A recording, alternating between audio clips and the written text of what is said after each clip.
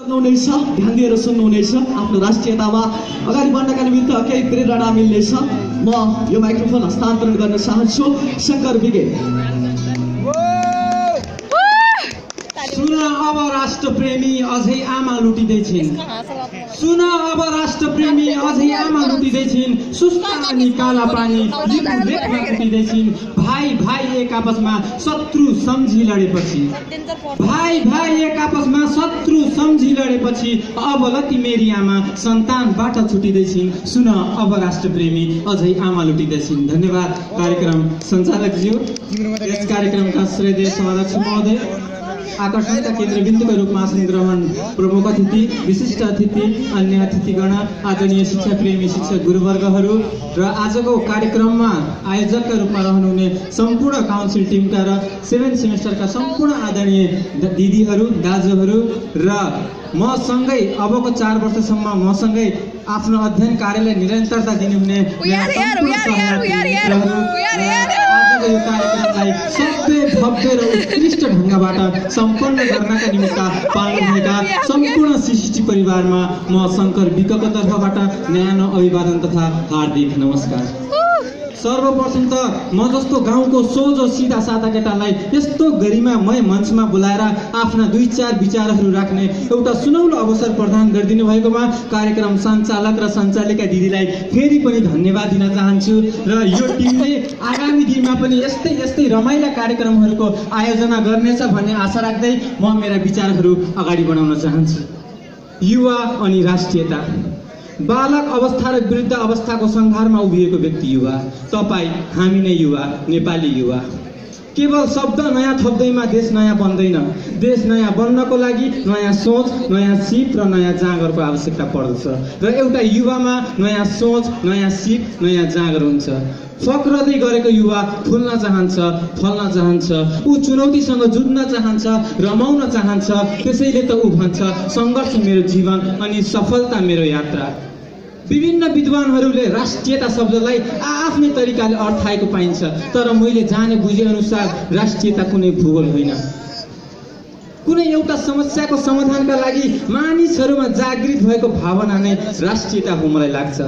राष्ट्रियता एउटा भावना हो जसले विभिन्न रङ र आकारका मोतीहरूलाई एउटा सुन्दर धागोमा जोडेर एउटा सुन्दर माला बनाउँछ। हो त्यही सुन्दर माला नै त राष्ट्रियता हो। हाम्रो देश नेपाललाई चार जात छत्तिस वर्णको साझा फुलबारी मानिन्छ। तर विडम्बना हेर्नुहोस्। वीर गोर्खालीको राष्ट्रियता बोकेर परदेशीको चौकीदारी गर्नु सबैभन्दा ठुलो विडम्बना। भगवान गौतम बुद्धको देशमा जन्मिएर पनि अशान्तिमा बिर्जनु पर्ने अर्को एउटा तितो सत्य। र आज मैले बडो दुःखका साथ भन्नुपर्छ।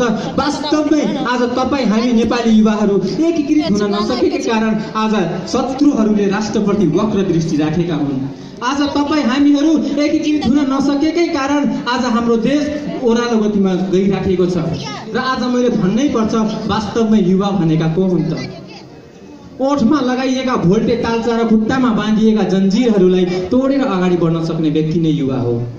सगरमाथा जस्तो सर्वोच्च शिखरलाई एउटै हातले जुरुक्कै उठाएर अगाडि बढ्न सक्ने सामर्थ्य राख्ने व्यक्ति नै युवा हो।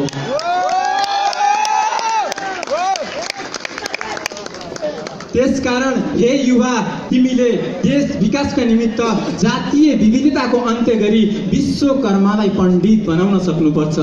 जोडिएका मनहरू फुटाउनका लागि होइन फुटेका मनहरू जोड्न सक्नुपर्छ। म सम्झाउन चाहन्छु यही दुई हजार बहत्तर साल गएको भूकम्प।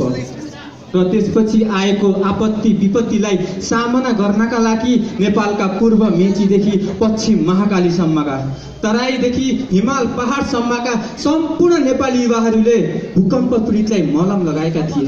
वास्तवमै भन्ने भने यही नै हो राष्ट्रियताको मूल परिभाषा। र आज मैले भन्नै पर्छ वास्तवमै आज मैले भन्नै पर्छ तपाईँहरूले आफ्नो खाली समयमा आफ्नो खाली समयलाई कसरी तपाईँले उपयोग गर्नुहुन्छ त्यो त मलाई जान्दिनँ तर त्यति बेला मैले कहिले काहीँ सम्झने गर्छु कि हाम्रा भारतीय वर्दीधारीहरूद्वारा बलात्कृत नेपाली चेलीहरू म सम्झन्छु म सम्झन्छु अत्याधुनिक शिक्षाका नाममा एउटा नेपाली विद्यार्थीले कक्षा कोठामा नेपाली बोल्दा खानुपर्ने सजाय। म सम्झन्छु म सम्झन्छु हाम्रो माटोमाथि गरिएका प्राय लिपु लेखहरू। रातो पासपोर्ट बेच्ने जनताका बिमतबाट नेता बनेकाहरू ग्रिन कार्ड र पिआर बोकेर राष्ट्र सेवक कहलाइएका राष्ट्र कर्मचारीहरू हो। यस्तै यस्तै मुठीभर व्यक्तिहरूले राष्ट्रियता धमिल्याउने प्रयास गर्दै गर्दा म सम्झन्छु स्वर्गीयको पालञ्जनको भाव। हे नेपाली नेपालको माया छ कि छैन? धेरै खेल्यौ तिमी नेपालको छातीमाथि। तिम्रो छातीमाथि पनि नेपाल छ कि छैन? आदरणीय महानुभावहरू म तपाईँहरूलाई प्रश्न गर्छु। यदि उत्तर दिन सक्नुहुन्छ भने ल भन्नुहोस्। दिनहुँ बाह्र सय पन्ध्र सय युवाहरू विदेशिन्छन् अनि दिनहुँ पाँच सातजना युवाहरू बाकसभित्र लास बनेर फर्कनेका लागि के हो राष्ट्रियता? दुई रुपियाँको जीवनजल खान नपाएर मर्नुपर्ने जाजरकोटको लागि के हो राष्ट्रियता? भोकै सुत्ने सुत्केरी आमाहरूका लागि के हो राष्ट्रियता? अनि इजरायलका ती कालकोठरीमा रुदी दिन काट्ने नेपाली चेलीका लागि के हो राष्ट्रियता? अनि आफ्नै नदीमा बाँध बाँध्नका लागि दिल्लीलाई सोध्नुपर्ने नेपाल सरकारको लागि के हो राष्ट्रियता?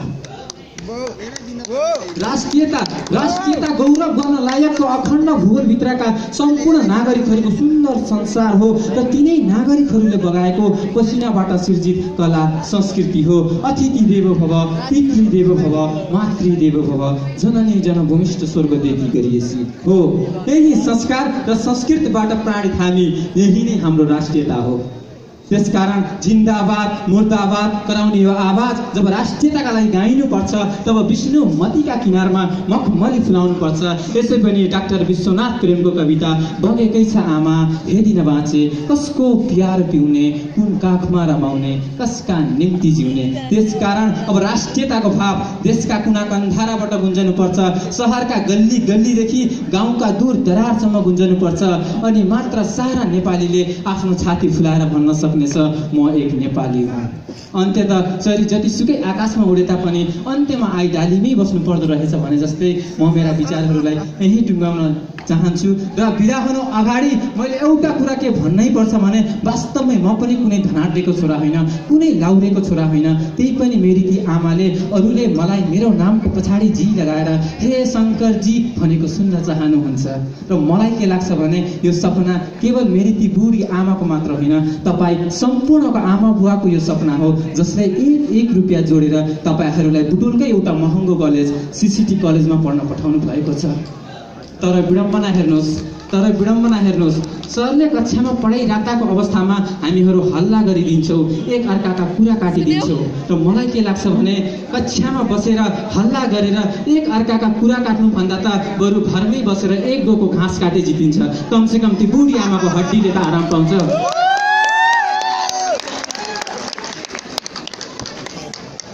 र मैले अर्को एउटा महत्त्वपूर्ण के कुरा के भन्नै पर्छ भने कार्यक्रम सञ्चालक दाई र सञ्चालिका दिदीले स्टेज अगाडि कसैलाई प्रतिभा देखाउनका लागि बोलाउनुहुन्छ अनि उहाँलाई तालीले सम्मान गरौँ भन्नुहुन्छ। तर हामी भने ताली दिँदा पनि सम्पत्ति नै दिनुपर्छ कि चाहिँ गरेर कन्जुसाइ गरिराखेका छौँ। यो नै एउटा नराम्रो बानी गर हाम्रो यसमा चाँडै नै सुधार आओस्। र यदि हाम्रो मनमा कार्यक्रम सञ्चालक दाई सञ्चालिका दिदी र सम्पूर्ण आदरणीय शिक्षा प्रेमी शिक्षक गुरुवर्गहरूको लागि हाम्रो मनमा यति पनि दया माया पलाएको छ भने कृपया उहाँलाई जोरदार तालीले सम्मान गरौँ। होइन भने हुन त म बालक हुँ मान्दिनँ धेरै बोल्न जान्दिनँ। स्टेज अगाडि आएर मैले कसैको हित चित्त दुखाएको छु भने त्यसका निम्ति हृदयदेखि नै क्षमा प्रार्थी छु भन्दै जहाँ रहनुहुन्छ सुखी रहनुहोस् खुसी रहनुहोस् व्यस्त रहनुहोस्। तपाईँको शुभ दिन शुभ फलसँगै म शङ्कर विक पनि बिदा हुन्छु र बिदा हुनु अगाडि मैले दोहोऱ्याएर भनौँ या चिच्याएर भनौँ नेपाली युवाहरूको जय होस् नेपाल आमाको जय होस् सिसिटी कलेजको जय होस् राष्ट्र र राष्ट्रियताको जय होस्। धन्यवाद।